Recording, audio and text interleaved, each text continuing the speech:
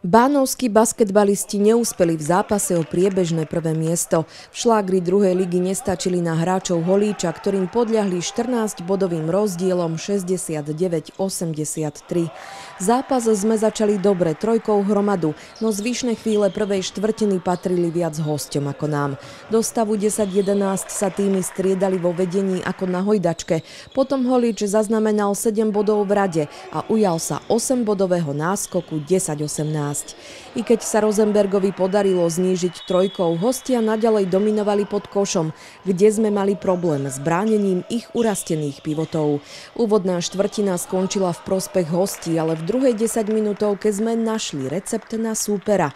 Ten spočíval v zrýchlenej hre a v zlepšenom pristupovaní k podkošovým hráčom. Navyše vďaka trojkovým pokusom Kubalu a Hromadu sme išli do najtesnejšieho náskoku 30-29. V 15. minúte sa pri prieniku do koša zranil náš najlepší strelec z posledných zápasov Ivan Lacko.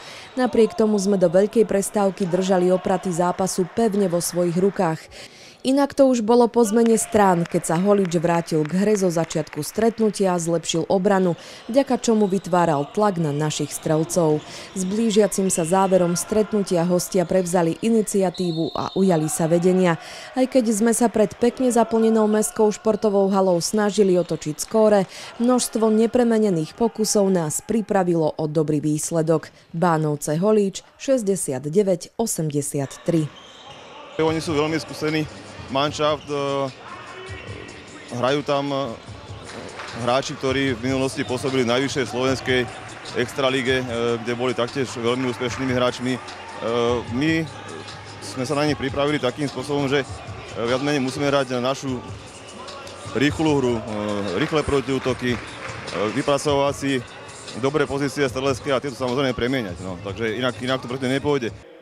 Do športovej haly si v sobotu našlo cestu viac ako 120 divákov a tí boli pred stretnutím svetkami milej udalosti. Bánovský basketbalový klub sa rozhodol poďakovať trom bývalým dlhoročným trénerom klubu. Menovite Štefanovi Kobzovi, prvému trénerovi v histórii klubu Ivanovi Vonkovi a Vladimírovi Raučinovi. Všetci sa výraznou mierou pričinili o rozvoj basketbalu v našom meste.